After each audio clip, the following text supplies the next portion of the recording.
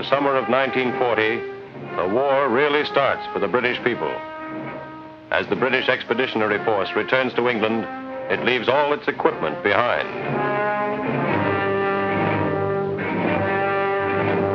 In this time of common danger, under fire from German guns across the Channel, under constant bombardment from enemy planes, the British people achieve a unity unknown in days of peace. Every man not in essential work takes his place in the armed forces. Men over age train after work in civil defense units. In the wartime parliament, a government is formed from all parties. Labor leaders like Herbert Morrison and Ernest Bevin enter the war cabinet. Trade union representatives are appointed to many government boards and committees. The nation puts forth its maximum effort. Women are drafted into the factories. Even women over 40 work part-time alongside men past the retiring age and boys just fresh from school. To meet the needs of war production, they choose not the slave labor of the Axis countries, but the democratic way of joint responsibility and joint participation. The attack on Russia and the entry of Russia into the war as an ally strengthens their determination. The Russians stand firm against the Nazi invaders. The Soviet workers speed the making of munitions to defend their country. As they do so, the workers of Britain get a reassurance of victory, the knowledge of a solid front against the Axis. To mobilize the complete resources of the nation, they realize they must extend democracy to the factories, use the brains of the workers as well as their strength. For they believe that democracy is the most efficient system the only answer to total war. In this spirit, they organize labor management or joint production committees to discuss such matters as general production efficiency, safety, absenteeism, and transport conditions. By joint consultation between management and workers, these committees develop the combined initiative of every section of industry. Sir Stafford Cripps, Minister of Aircraft Production, says of them This truly democratic partnership in our industries has brought the great fund of knowledge amongst the workers to bear on the problems of production. It's helped us to reach and maintain in our factories the vast output necessary in wartime. It's the first time that workers have been consulted upon matters which were once considered the care of management alone. It's the first time, too, that there has been a recognized agreement between workers and management by which the cooperation of the elected representatives of the workers is given in production matters. These committees are a step towards a new industrial democracy in the making. As they've been of value to increase and maintain production in time of war, so they will equally have to be used in times of peace, if the well-being and standards of our people are to be maintained. Even before the war started, forms of joint production committees had been in existence. For instance, this factory, typical of many in the engineering industry, had a works council, which later turned into a production committee following the agreement of the trades unions and the Employers' Federation. Before the war, this factory made high-powered automobiles. Now it makes gun carriages, header tanks for Spitfires, and engine accessories for all kinds of aircraft. It's a fairly large factory with several shops and departments, and each department elects a subcommittee of its own. These departmental committees are, in effect, miniature labor management committees. On them, two or three representatives elected by the workers in the shop, with the shop steward, meet nominees of the management, usually including the foreman. Departmental committees are re-elected at regular intervals and the method of election is typical of elections of labor management committees in factories. First of all come nominations, and nomination forms are distributed by the personnel office and the to those workers who want to put forward candidates for election.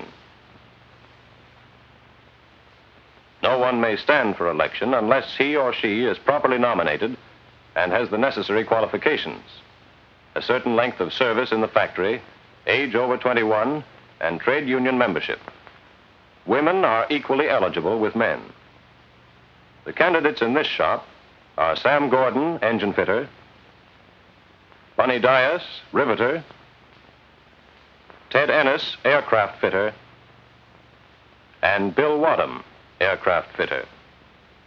Election is by secret ballot, and everyone in the factory over 18 may vote. A sealed ballot box is placed in the shop, and on payday, each worker gets one voting paper in his pay packet, and one only. Two or three days are allowed for voting, and then the votes are counted. As in all democratic elections, both sides are represented at the counting. At this election by the management secretary and the workers secretary and the factory labor management committee. The elected representatives of the workers with those appointed by management meet in committee once a week. Their job is to deal with matters which arise in their own department. Sometimes a problem affects two departments, and often this can be settled by a meeting of the two chairmen. If a point comes up which the departmental committee can't settle, they refer it to the main labor management committee of the factory. The main committee again consists of representatives appointed by the management, including the general manager and works manager, and representatives of the workers chosen by vote of the whole factory. If a piece of business calls for technical information, an employee with special knowledge may be co-opted. Well, what's it all about, Jack? It's these pressings. These are from one supplier whom we've been seeing for about 12 months.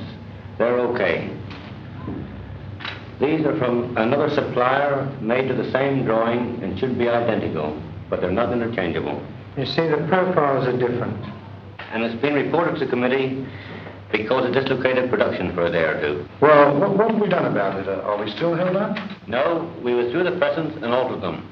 It is fairly obvious that the new firm got a ministry concession to depart from the drawings to suit their own plant. Yes, that frequently happens. Unfortunately, though, the concession they obtained was not notified to all manufacturers, and so the drawings weren't altered. Well, the men in the shop think that this is quite an important matter. For all it may happen in some other factory. That's right, yes. Why don't we send a letter to the regional board and make sure it doesn't happen again? I second that. Agree? Agree, agree. Um, will you please see that a letter is written to the regional board and emphasise that we're not complaining because we were held up ourselves, but make the point that the granting of concessions or the altering of drawings without everybody interested being notified might easily cause a hold-up in any factory, whatever contract they're on. The regional boards of the Ministry of Production, to which committees can refer matters they can't settle themselves, continue the principle of joint consultation. The chairman is the regional controller of the Ministry of Production, and the board includes representatives of the supply departments. In addition, there are equal numbers of members representing employers and trade unions in the area. Above the regional boards is the National Production Advisory Council, meeting in London under the chairmanship of the Minister of Production, Mr. Oliver Lyttelton. The council directs and coordinates production throughout the country. And again, both sides of industry take part in its discussions. The National Production Advisory Council is in a way the highest expression of the Joint Production Committee idea. I preside over it as Minister of Production with the help of my ministerial colleagues from the Ministry of Labour, the Admiralty, the Ministry of Supply and the Ministry of Aircraft Production. The members of the Council consist of the leaders of the employers' associations and the trade unions, and of a representative, again drawn from one or other side of industry, from each of the 11 regional production boards of Great Britain. We hold meetings at regular intervals. We exchange views on general production questions, including matters suggested by particular regional boards. By this means, there is an open channel through me to the War Cabinet itself. The Council has always taken a special interest in the Joint Production Committee movement. There are now over 4,000 of these committees in the engineering and allied industries alone.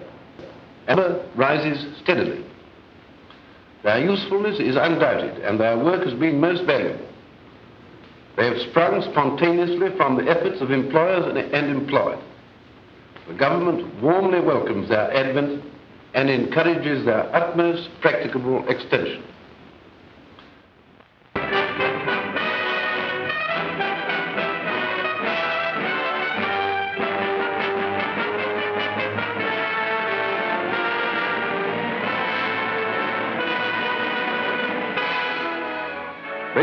Industry in Britain is coal. On coal, all other industries depend. The mills and factories, the gasworks and power stations, the railways, which are the backbone of the country's transport system, all draw their power from coal.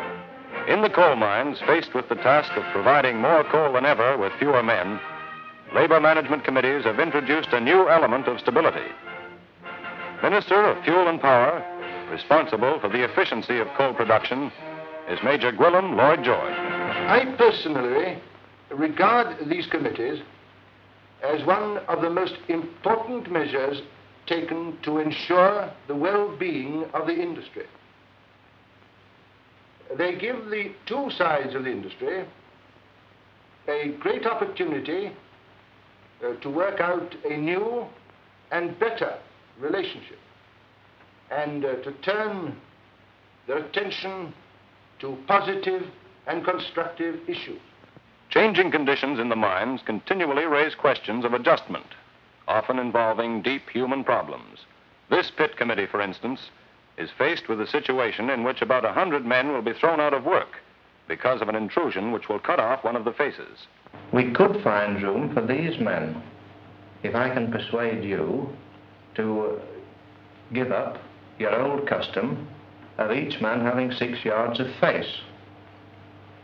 Suppose, for example, each man had four and a half yards of face. You could then place one extra man in every three. And if we undercut the coal to a proportionately greater depth, we could ensure that each man had the same tonnage to fill. I know that this is a new departure, but I should like to hear what you think about it, and I hope you'll give it a favourable reception. Mr. Chairman, you're asking us to forego an old custom. Actually, it's a signed agreement between management and man. Secondly, surely the alteration in the method of cutting is going to entail more work for everyone on the coal face. Oh, I don't think so. I do not agree, Mr. Chairman, with your proposals, because ever since you've been at the colliery, you have been trying to break down this custom, and we have been able to resist it so far. Is that your view, then? And yours? Yes. It looks as if we've reached a deadlock. Yes. The only thing we can do now is refer the matter to the regional controller. Are you agreed that we do that?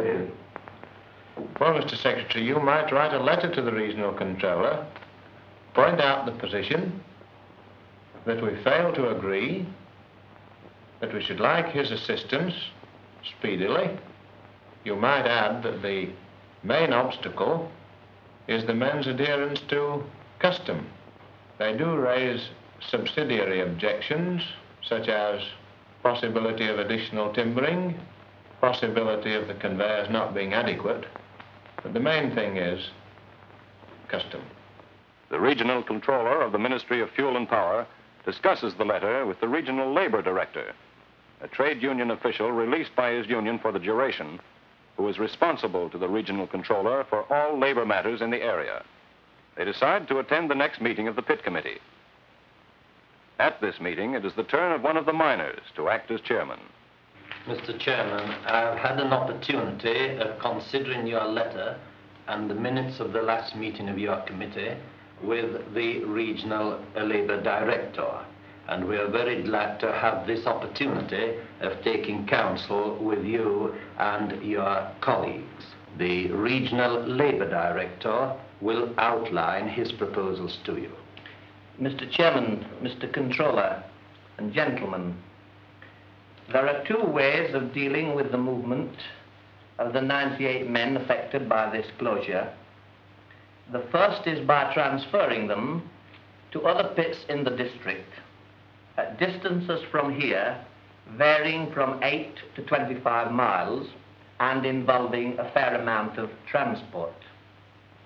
If this is done, I estimate the daily output of coal that they would give at the pits to which they're transferred as 315 tons.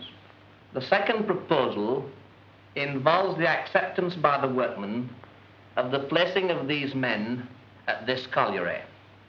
And I hope the committee will feel in a position to recommend the workmen to accept them on their existing faces. If this is done, I estimate that we shall be able to receive from these men the daily rate of production, a daily output of 450 tons.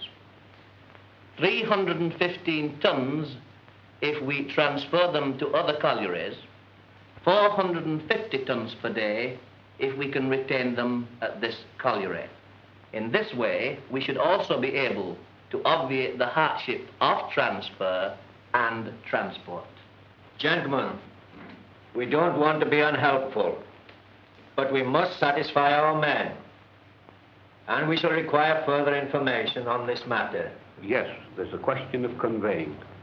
Will the manager indicate how he proposes conveying the additional 450 tons? The stopping of this face would make it possible to transfer good equipment onto the two faces where the men will have to work. Furthermore, we can speed the belts up 50% if necessary, and I've no doubt that we shall be well able to deal with the extra output. I beg to differ. Even with our present load, last week we had two breakdowns, and I suggest that something's got to be done about these conveyors. Otherwise, I can see no point in sending additional men on these faces. Oh, certainly. And if we found the conveyor was not adequate, we should obtain a larger one. Will the controller give us the assurance that the custom that is in operation at the present time will be restored to us immediately it becomes practicable? Yes, just as I am entitled to ask that no custom should be allowed to interfere with output in wartime, so I think equally you are entitled to ask that if a custom is abrogated during wartime, that it shall be restored to you when the emergency is over. And I have the assurance of the colliery agent also uh, that he will support the restoration of the custom. Chairman, having heard the replies to the questions put, and knowing that an emergency exists, also having the assurance of the controller that the custom will be restored, I'm prepared to recommend that the men accept the proposed alterations. I agree. Yes. I think it's a right decision. Well, gentlemen, we're prepared to recommend acceptance. And we'll be glad if the Labour Director will come and state the case to the men, the same as he has stated his case this afternoon. I will, Mr. Chairman.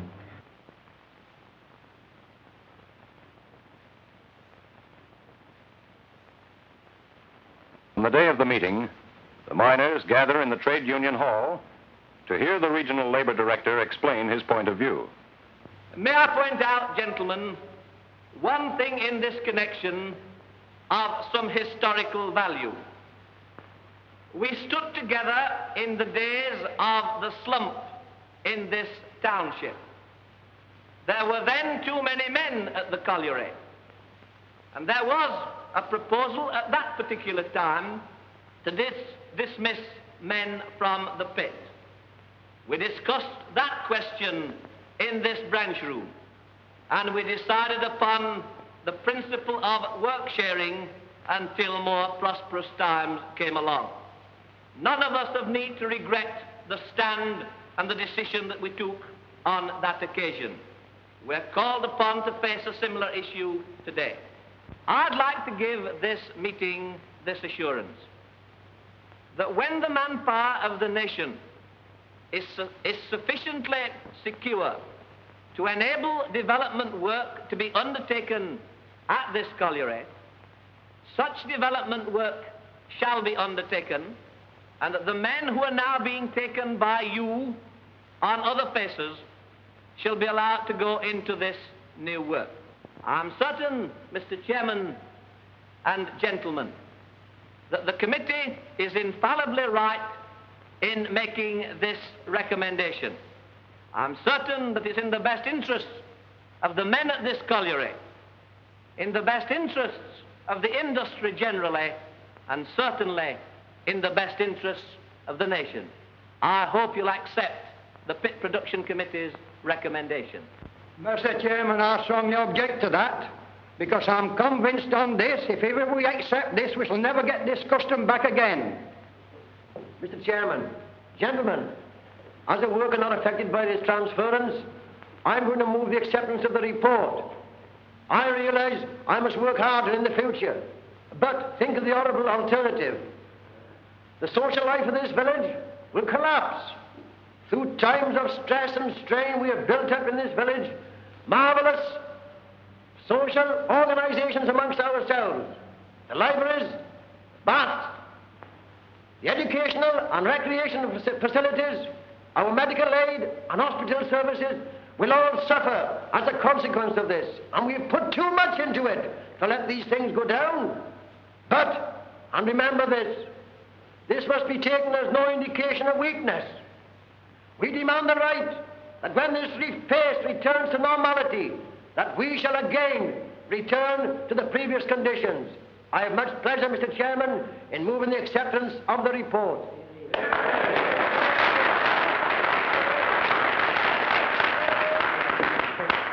Thank you, Lou.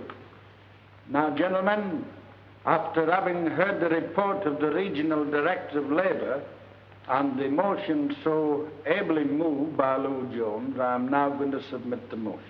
All in favour of the motion, please show. There is no need to count. That has been unanimously carried. Well, that's champion, Bob. We shall be able to keep the men here, and we shall get the coal. Thank you very much, gentlemen.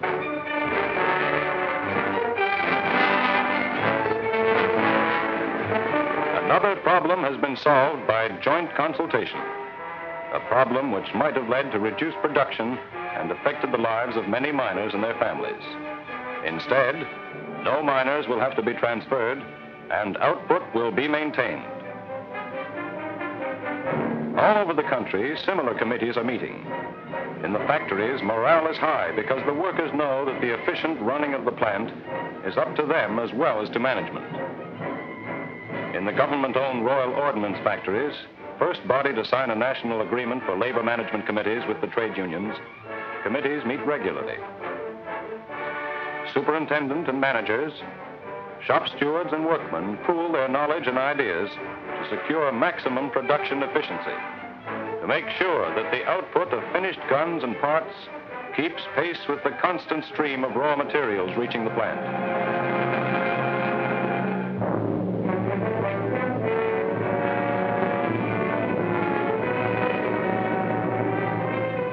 Dozens of airfields are being built, and on them, with their special short-term problems, labor management committees find plenty to do.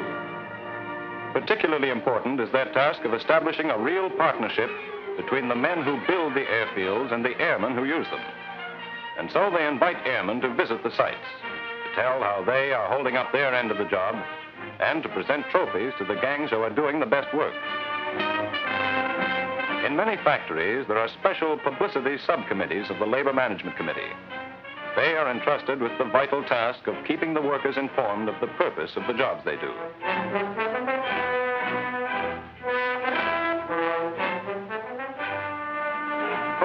And charts serve to keep everyone in touch with production progress so that each man knows if the plant is maintaining schedule. Exhibitions show them what happens to the various parts they make. For it is the democratic belief that free people work best when they understand the meaning of the things they do. In the factories, the more each worker understands the function of his job, the better his work becomes.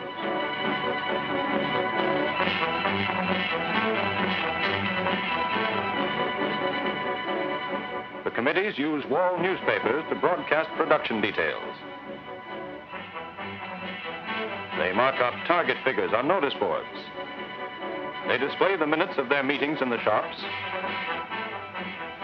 and encourage senior workers to spread information around the factory by word of mouth.